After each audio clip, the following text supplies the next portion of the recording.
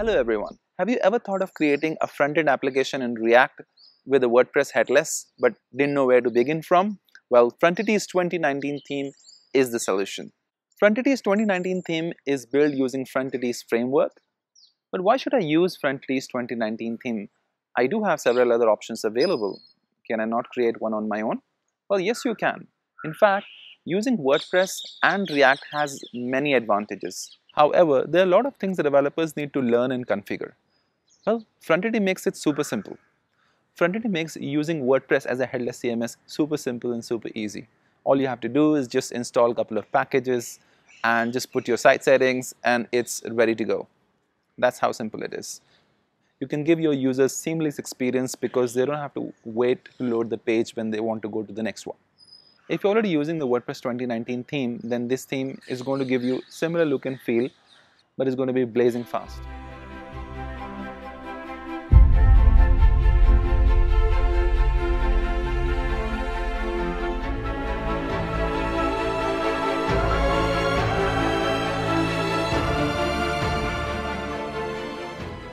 Well, Frontity offers you many features. It offers you zero development setup, lightning fast loading, instant in-app navigation and many more. You can check out the introduction video of Frontity which talks about many features that Frontity offers you. Well, wait a minute. Can I customize it as well? Well, sure you can. Well, the best part about Frontity is that it's got a very active and helpful community. So if you have any questions, if you need some help, you're stuck somewhere, you can always ask questions. Great. So let's dive in. Okay guys, so let's learn how to install and set up Frontity's 2019 theme. Now, there's several ways to do it, just a couple of ways. Uh, first, if you've never used Frontity framework before, this is the first time, then you can install the project and then install the theme. Second, if you already have a Frontity existing project, okay, then you can just uh, install this package from the npm by doing npm install and then the package name okay so let's do it the first way wherein let's say this is the first time you are setting up the Frontity's framework so let's do that so there are different ways you can do it. You can either follow the README here or you can also go to the GitHub repository. So let's check this repository out. So you can see this is a demo and then for a new project, just simple steps, just three steps. Okay, so you just need to clone it. So just go to your terminal, paste it, git clone, and this is going to be cloned over here. Okay, so you can see that it's cloned. All you have to do is just go inside of this package, Frontity 2019. And then once you go there, you just need to run this command, which is npm install npx frontity dev. So what this will do basically, this will install all the packages and dependencies which is there in the package.json. So if you go back and check package.json, so you have certain dependencies like Frontity Core, HTML2 React, all of these. It's just going to install that and, and it's also going to install the package which is uh, 2019 theme. Okay. So once it is installed, then uh, it's going to run the second command. That's why we're running the two commands together, which is npx frontity dev, and it's going to start your development server at localhost 3000. So whenever you make any changes, uh, you have got categories. So you have nature as category, then you have travel as category, and then you also have tags, and then you also have pages. This is your site name. You also have single pages, and you can also go to single posts. So this is my single post. Okay, you have the author name, the date when this post was written. Your WordPress pages page is also being displayed over here.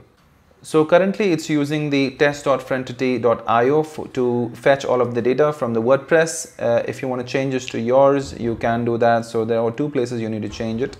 The first one is here in the state URL. This is the place where you will put your own URL. So for example, if my URL was like codeytek.com, so I'm going to put my URL here. I can change the title also over here.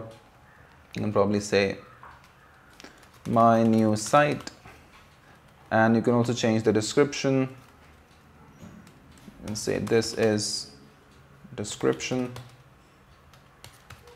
Okay and so this is going to be for your site. And uh, if you scroll down uh, over here where it says source API this is the API that is responsible for fetching the data from your WordPress site. Okay so all you have to do is just change it to your site at this point. So let's say your site was you'll just put that there and let this wp json stay the same okay? I'm going to change this back to the normal one. Let's go back and check. Okay you can see this is description the title is changed the site title is changed as well okay? Uh, and if you want to go ahead and change the pages you can do that. So you can change this to my home so this is basically the menu on top. So now if I refresh this is my home now okay? You can put categories. You can change the category also. And again these are tags. You can add other pages as well. So you can say new page. Okay and then you can put the URL for that page. So if I go and refresh now you can see now we have a new page as well okay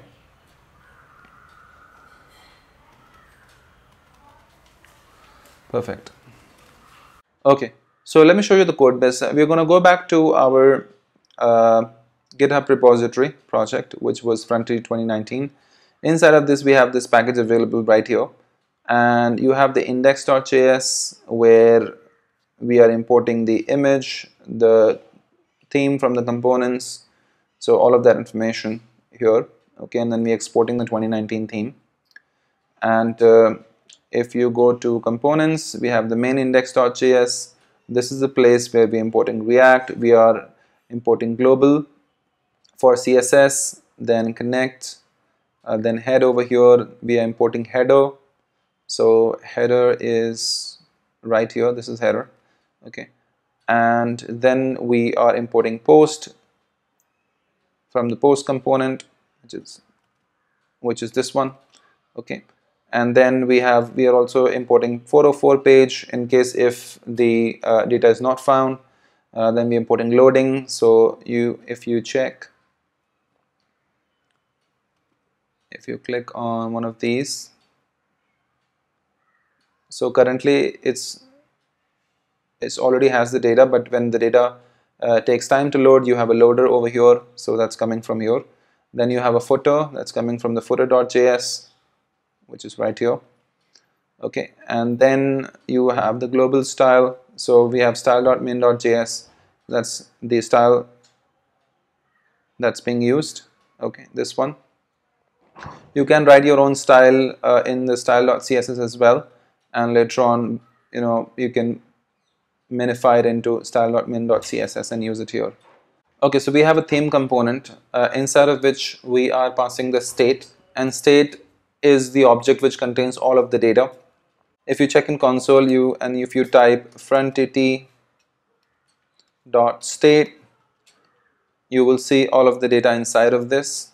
So you have the URL you have the description uh, packages that is that are being used then you have router for routing.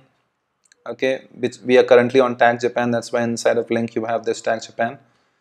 And then inside of source you have the API which is being used.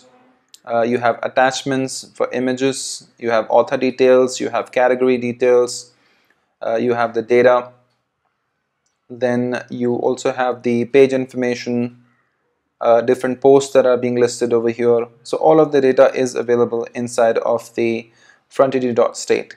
Okay, and then you have the theme information available. Yeah, this data that we set to true, eh, that information is available here. What items are available in menu? So we have home nature travel japan about all of this information being shown over here. So this is pretty handy you can use it. And that state is being passed over here and we are trying to get the uh, link. So you can see that state.router.link so state dot router dot link so this is the link that we are trying to get so we're trying to get the data from that then we have the head section it's the head component which has the title so it's getting the title from here. So state.frontity.title, state.frontity.title. So this is the title that's being displayed here. Then the description is coming from state.frontity.description, which is here. And then you have the language attribute. So this is done with we're done with the head section then you have global styles available. So we are passing the global style that we're importing from here. Then this is the body and it's got the ID of content. And uh, if it's still fetching if the fetching value is true then show the loader. If it's an archive page then show the list component. If it's a post then show post. If it's 404 page then if the data contains 404 then it's 404 page that's being displayed over here okay? And then we are just uh, exporting this theme right here. Okay? So then if you go to list so list.js is basically going to loop through all the items of the post.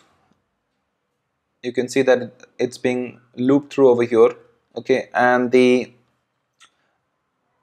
list item is going to be a single list item. Okay? You can see it's the article which says post entry and that's right here and then we have several articles inside of this okay?